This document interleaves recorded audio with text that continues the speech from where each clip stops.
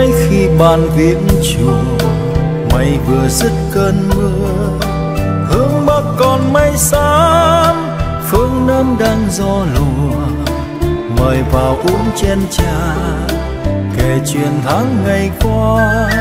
Tiếng chuông ngân tĩnh lặng tiếng mõ xua bóng tà. Lời kinh là đóa hoa, lời kinh đầy tha thiết, hãy lắng lòng tình thương ngàn năm qua. Danh là cơn nước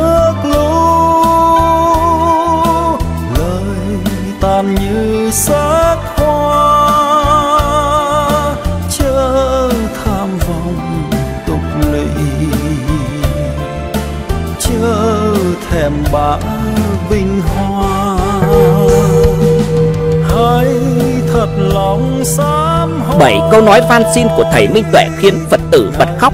Sáng 20 tháng 5 2024, thầy Minh Tuệ chính thức lên tiếng khi bị đám đông bám theo dày đặc nhiều ngày. Thầy nói: "Thứ nhất, những người hộ pháp lên trở về, con không cần ai hộ pháp nữa vì con chỉ là người đang tập tu. Thứ hai, người dân nên trở về nhà làm công việc của mình, đừng đi theo con nữa. Thứ ba, các youtuber hãy quay về nếu đi theo quan sẽ gây náo loạn xã hội, mất trật tự giao thông. Thứ tư, những người tự tu lên đi một mình, hãy đầu đà là tu một mình. Thứ năm, mọi người gặp con trên đường không cần phải đảnh lễ quỳ nạy, hãy đảnh lễ tam bảo, lạy Phật là được rồi. Thứ sáu, người tu tập ai cũng cần có thời gian để sinh hoạt ngồi thiền. Mọi người đừng chờ con từ 3 giờ đêm nữa. Thứ bảy, con đâu phải diễn viên Hollywood để xem, con là nhà tu hành. Xin mọi người hãy hoan hỉ, xin mọi người hãy hoan hỉ. A Di Đà Phật.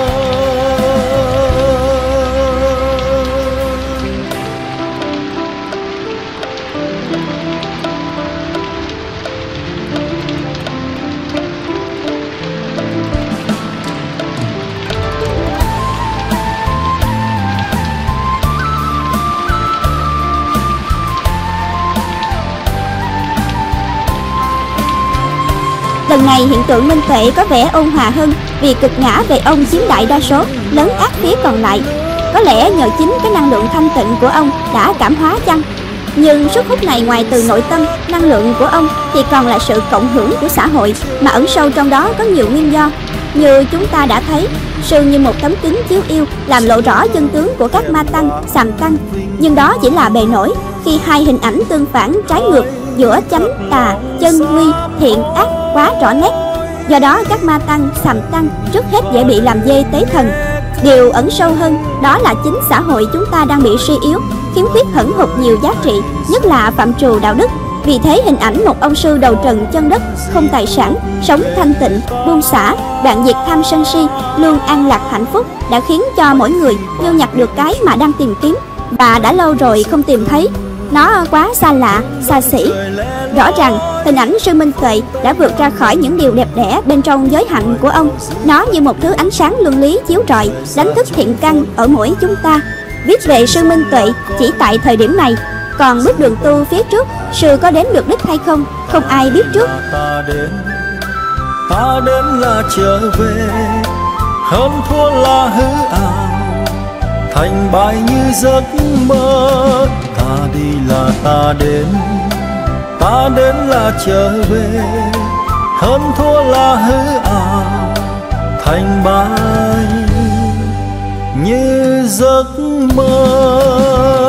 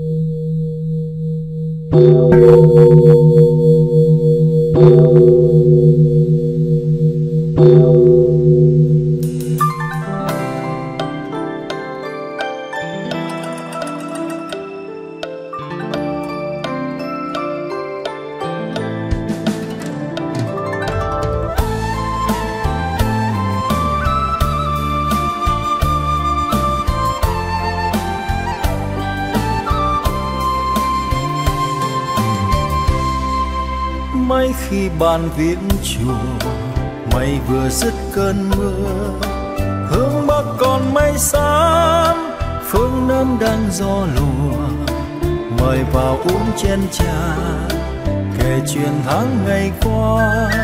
Tiếng chuông ngân tĩnh lặng, tiếng mõ xua bóng tà.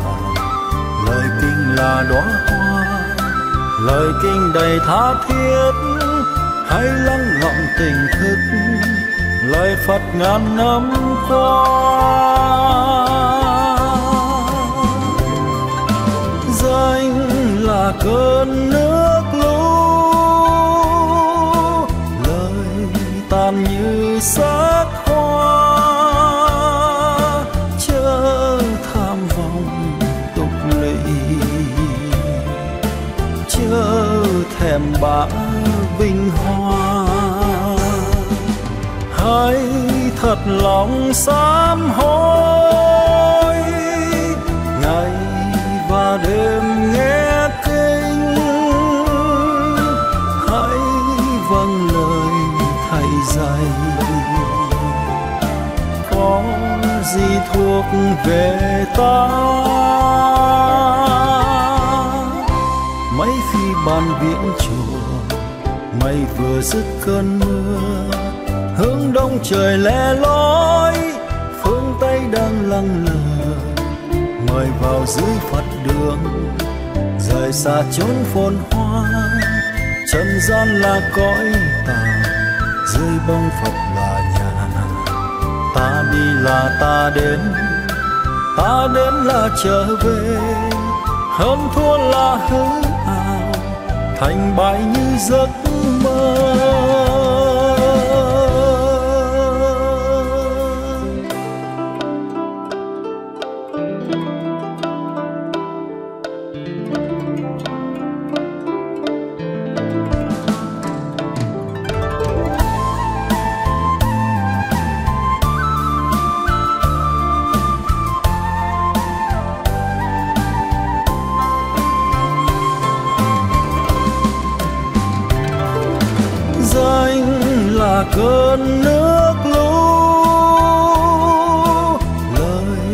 Tàn như xác hoa,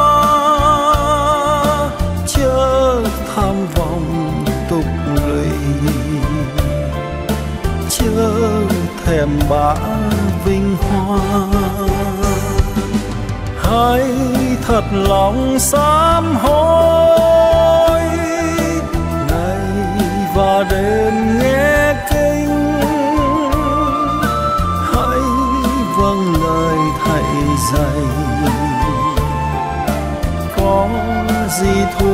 Về ta.